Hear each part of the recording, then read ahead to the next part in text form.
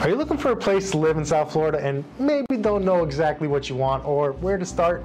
No worries, today's your lucky day because I'm going to be talking about some of the newest, hottest, and most sought after developments happening right now in East Boca.